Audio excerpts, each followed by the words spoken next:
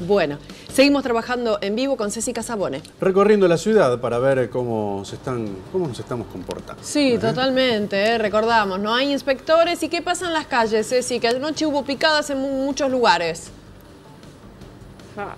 Bueno, nos vinimos a uno de los lugares claves que tiene la ciudad de Rosario, tan conocido como el Cerrucho. Estamos en mm. zona norte, en donde sabemos que aquí es uno de los puntos y epicentros de lo que se denominan carreras clandestinas, ¿no? Esto que está totalmente prohibido y que en este marco de pandemia y en este contexto en donde estos, estamos en estos 14 días de aislamiento, de fase retroceso, más aún.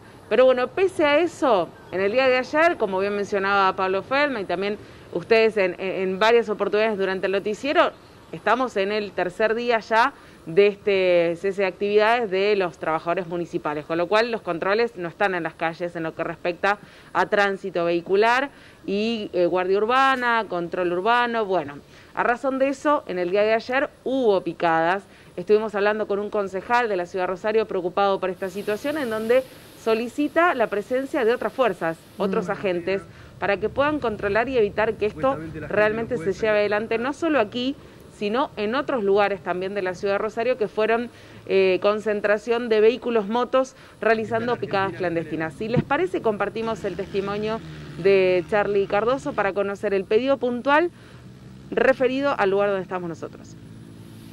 A falta de controles por el paro municipal, aparecen aquellos a los que les gusta transgredir las normas. Esta carrera de motos y autos en el predio del Parque Escalabrino Ortiz es solo una muestra de lo que pasó este miércoles a la noche en diferentes puntos de la ciudad. El concejal Charlie Cardoso pidió al municipio que se prevea un refuerzo con la provincia para evitar estas acciones mientras dure el paro de municipales.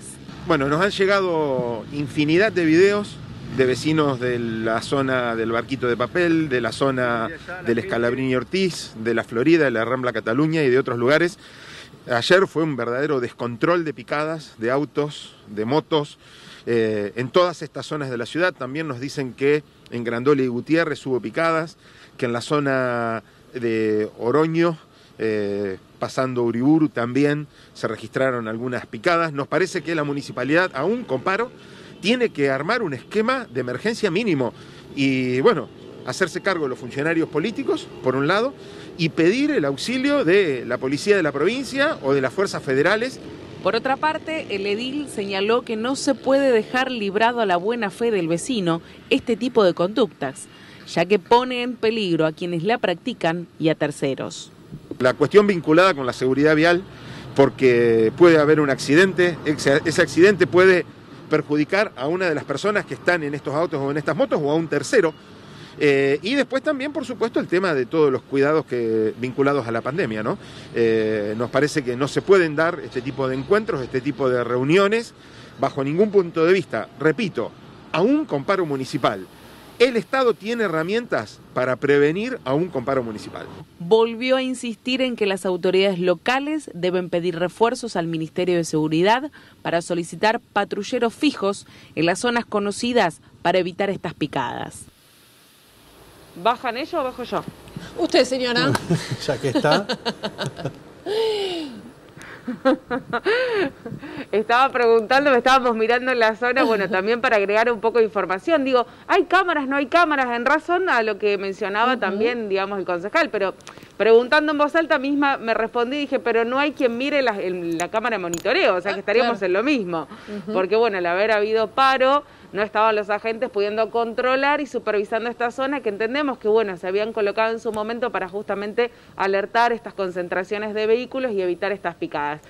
Bueno, lo cierto es que ahora está tranquilo, sabemos que generalmente se concentran a partir de las 10 de la noche en adelante y que allí es donde, bueno, se empiezan a desarrollar estas carreras, en donde, como bien decía el concejal, y en reiteradas ocasiones ha mencionado la necesidad de controles. Veremos qué pasa en el día de hoy. Veremos si aparecen patrulleros vinculados a las fuerzas de seguridad de la provincia para evitar estas concentraciones que pudimos ver reflejados en los videos y si pasa una noche distinta a la que tuvieron que vivir los vecinos en el día de ayer. Ahora, por el momento, está tranquilo, un tránsito normal, así que podemos decir que hasta el momento no hay eh, una intención que podría deslumbrarse que se avecina una carrera. Bien, perfecto. Gracias, Ceci.